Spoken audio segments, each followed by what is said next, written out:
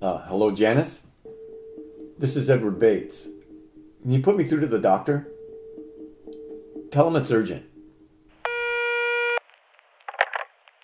Are you aware that this phone call could put me in prison? You know I wouldn't call if I didn't have to.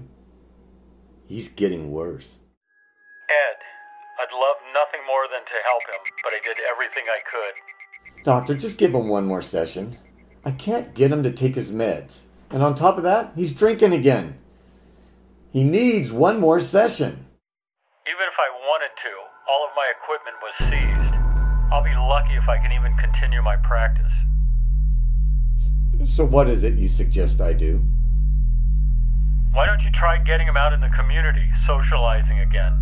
He only channels Max because he doesn't have anybody else to talk to. He put a woman in the ICU simply because she would not acknowledge Max's presence.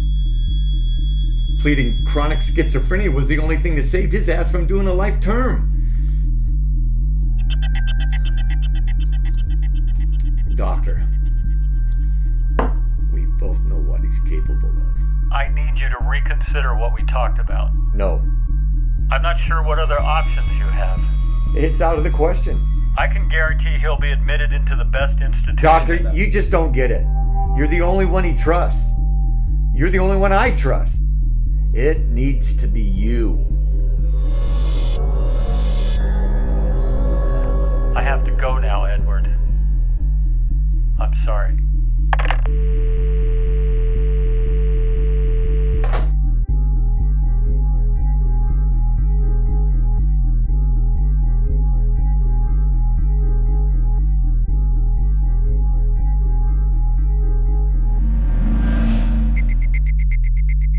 Tonight's headlining news, the body of controversial psychotherapist Dr. Robert M. Crow was found at his Los Angeles home earlier this morning.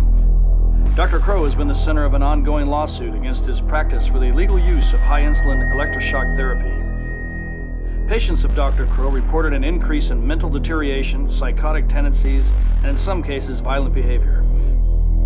The cause of death is yet to be released, but be sure to tune in later for further information. Frank J. Mudd, KRUD. Good night, everyone.